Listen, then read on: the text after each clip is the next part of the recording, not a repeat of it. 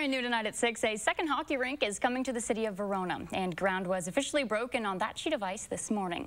The Verona Ice Arena has seen such growth over the last several years that there's been demand for another rink for hockey, ice skating, and figure skating.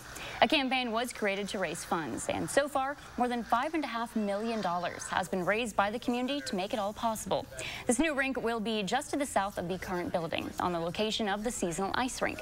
Doubling the city's ice rinks will allow for more skaters to use the facility, which the Verona Chamber of Commerce says the added facility will help nearby businesses.